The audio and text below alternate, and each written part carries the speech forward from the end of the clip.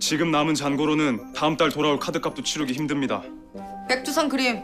안 팔립니다. 생각보다 인기가 없네요. 김유나 부모한테 받은 금괴. 그걸로 차 샀잖아요. 차. 차. 어. 블랙 카드는 돌려보냈습니다. 너 미쳤어?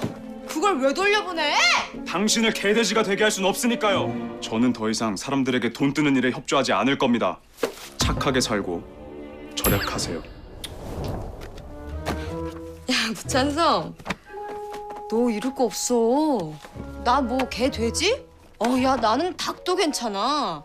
내가 닭칼국수로 태어나서 다시 너를 만나도 안녕. 나는 겉절이랑 싸 먹으면 더 맛있어. 이렇게 인사해 줄게. 진짜로. 차를 처분해서 이거를 다 해결하지 않으면 당장 다음 달부턴 닭칼국수 사 먹을 돈도 없을 겁니다.